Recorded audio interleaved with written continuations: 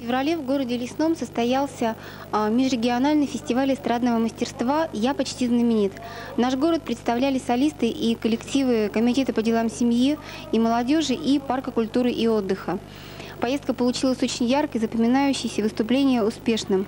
Но лучше всего обо всем расскажут непосредственные участники фестиваля. А обычно на подобные эстрадные фестивали можно попасть двумя путями. Или об этом узнают руководители, посылают туда так называемую заявку, или а, наоборот коллективам присылают приглашение. Каким образом а, коллективы и солисты нашего города попали на фестиваль в Лесной? Э, значит, незадолго до этого фестиваля в январе приезжал из города Лесного музыкант Александр Хрулев. Вот мы с ним познакомились, он на нас посмотрел и прислал нам приглашение. Вот по этому-то приглашению мы туда все и попали. Вы были на подобных э, фестивалях уже не раз. По-моему, подобные фестивали происходили в Челябинске, в Магнитогорске, в Садке. Вот этот фестиваль в Лесном, это аналог предыдущих фестивалей эстрадных?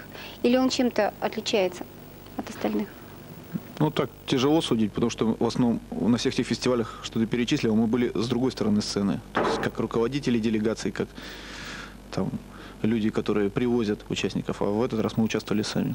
Поэтому тяжело так сказать. Ну, по технике он, допустим, от Магнитогорска отличается тем, что в Магнитогорске собираются в основном рок-музыканты. В это дети.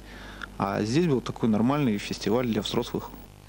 А на таких конкурсах всегда жюри внимательно а, смотрит за уровнем фонограмм. Вот на этом конкурсе подобный вопрос обсуждался? Но вообще конкретно вот именно по фонограммам, к сожалению, конечно, не затрагивалась эта тема.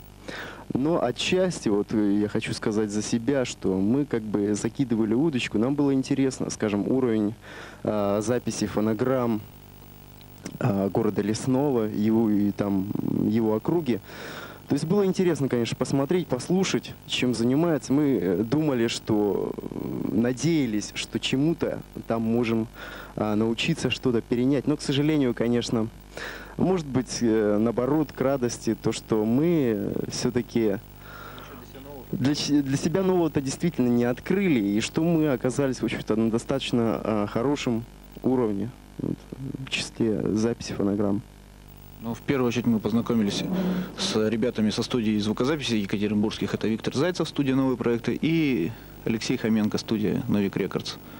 Вот. Ну, плюс еще тут мы познакомились с музыкантами из Екатеринбурга, дуэт двое, да? Вот, они нас пригласили к себе в гости поиграть в клуб «Эльдорадо» называется. Вот. Ну, что еще? Так со всеми перезнакомились, в принципе, как это бывает на любом фестивале. А если вот так вот немного помечтать, можно представить, что фестиваль подобного уровня и ранга может быть проведен в нашем городе? Легко. У нас есть все условия для этого, все предпосылки. Посмотрите, как отремонтировали ДК. Замечательно, да?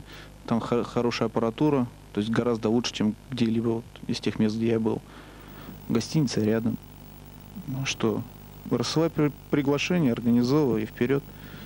Главное, чтобы люди сюда приехали, это уже достигается путем личных контактов. У меня есть знакомые, которым можно отослать положение. Там, у кого-то еще есть знакомые. Вот так сели все вместе. Если все вместе соберемся, мы, естественно, фестиваль сделаем еще и лучше. Поездка в город Лесной была не первой нашей поездкой. В прошлом году мы ездили на фестиваль город Челябинск. Это был арт-старт. И если сравнивать город Лесной и город Челябинск, то фестиваль в городе Лесном был несколько ниже по уровню вообще подготовленности участников. Ну, наверное, потому что Челябинск, он сам по себе область, и там было больше людей с, с профессиональным образованием.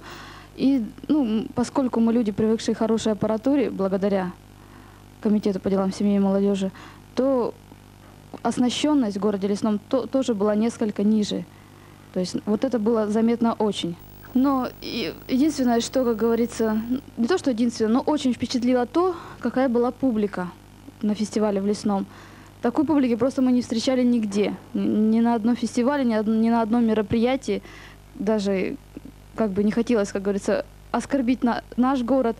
То есть публика потрясающая и встречала любого человека, вышедшего на сцену, огромными аплодисментами и поддерживала его.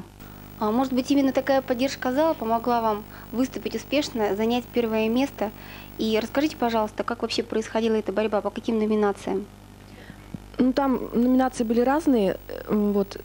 В данном случае мы заняли первое место по номинации «Лучший вокальный ансамбль». Мы еще на репетиции слушали тоже эти ансамбли, и там же конкурс был с, возрастной какой там с 14 до 30 лет. Там вот такие маленькие дети, когда пели, мы думаем, ну что это такое?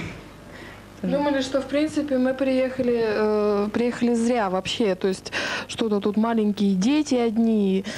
Думали, выйдем, ну и что мы тут выйдем, ну и споем. Может быть, нас вообще, то есть зря приехали, просто так выступить и уехать. Все. Вообще. Было даже несколько обидно, то, что как бы не с кем соревноваться, даже такая мысль промелькнула. А потом, после второго отделения, мысли совсем были уже другие. То есть очень впечатлило. Когда вы уже знали, что вам предстоит эта поездка, а, наверное, одним из главных вопросов был э, выбор репертуара. Вот как вы решали, какие песни вы везете, что вы будете петь? Решали, чтобы песня, во-первых, была оригинальна, во-вторых, чтобы в ней прослушивались все четыре голоса как можно больше. И направление отдавали, конечно, джазу, поскольку все равно люди как-то более ну, стараются петь поп-музыку, более распространено на фестивалях. А джаз, джаз все равно он как-то выделяется. Ну, немного народу поет джаз. И, конечно, посложнее, э, посложнее э, мы посложнее вещи выбирали, чтобы не просто так вот э, спеть, ну, как обычно, кому, кто мог бы просто тоже спеть, а вот старались ну, действительно найти такие вещи, в которых можно показать вокал, показать оригинальность, вот как Лена сказала уже, ну, и публику, главное еще публику потрясти, и жюри тоже. Самое интересное было то, что после наших всех выступлений, как выступил Снежинск, пришли а, лесничане, так их называют, а, э, пришли и сказали, что такого, что устраивает Снежинск, они не видели давно. Я знаю, что у вас есть талисман, очень необычный, но, говорят, приносящий вам удачу и успех. Вот Если можно его показать и пару слов рассказать об этом. Ну вот так получилось, что у нас в коллективе появился пятый участник нашего коллектива. Это Феня наш, Фендер, полное его имя. Вот он в панике сейчас тут мечется. Внимания ему много. И ну, мы не можем, настолько его любим, что просто не можем вообще без него. И когда мы не на сцене стоим, например, за кулисами, он всегда с нами. Когда мы выходим на сцену, значит, он, ну, тут же кто-то, кому-то его отдаем, и потом опять он с нами. А получилось такой курьезный случай, получился на, на награждении. Смешно получилось. Нам не, ну, никому его не успели отдать, и он у Наташи сидел на плече, и в самый неподходящий момент начал вылазить. И потом в конечном итоге вообще отъел у нее гвоздику.